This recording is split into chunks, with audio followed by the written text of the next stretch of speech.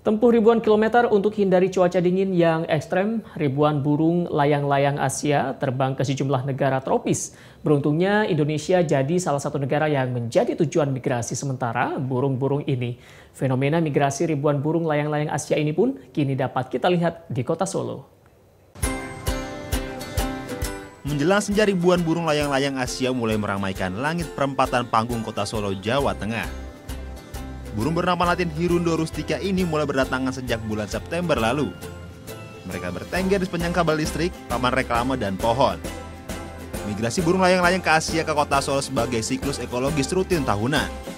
Burung-burung ini diperkirakan akan berada di Indonesia sampai bulan Maret mendatang dan akan mulai kembali ke habitat aslinya di Jepang, Korea, dan Rusia bersamaan dengan berakhirnya musim dingin. Masyarakat pun diimbau untuk tidak mengganggu kehadiran burung yang datang secara bergelombang ini. Nah, dia itu mempunyai siklus hidup yang sangat unik di mana ketika musim berbiak atau mereka musim melakukan perkembangbiakan, mereka biasa hidup di negara empat musim yaitu bumi di sekitar bumi belahan utara seperti Mongolia, Cina, Jepang, Korea, sampai Taiwan.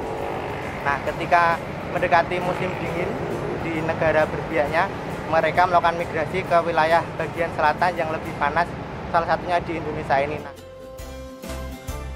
memiliki cuaca yang lebih hangat serta masih tersedianya pasokan makanan dibandingkan di daerah asalnya. Menjadikan Indonesia lokasi migrasi sementara burung layang-layang Asia. Anggaika melaporkan untuk